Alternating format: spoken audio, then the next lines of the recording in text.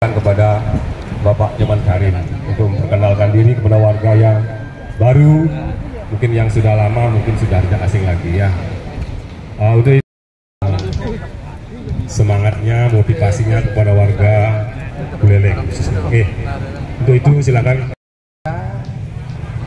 kita kasih ke warga kita sama leluhur kita kita kasih semua yang ada di alam semua dasarnya itu kasih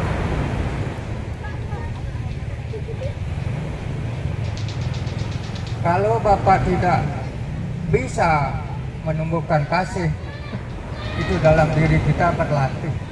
Itu tetap disarankan oleh Pak Kanto berlatih berlatih berlatih berlatih. Pertama hornya itu olahraga.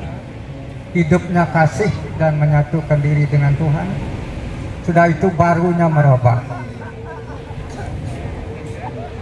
Segala yang nama sifat-sifat lama kita kalau sudah barunya itu meresap dalam diri kita mesti kita akan berbeda dengan yang dulu.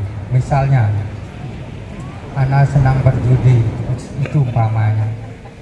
Setelah ikut beroriba dan meresapi arti baru itu mungkin bapak ibu akan berhenti. Berjudi atau menjadi orang mabuk-mabukan. Dan termasuk orang yang memitnah. Yang sombong. Akan hilang itu semua. Makanya marilah kita lakukan bagaimana kita betul-betul melaksanakan olahraga hidup baru ini dengan baik. Dengan sempurna dengan penuh cinta kasih dan saling menghormati itulah dasarnya.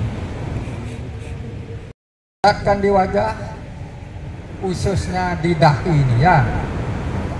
Inilah yang paling penting konsentrasi bapak ibu di dahi.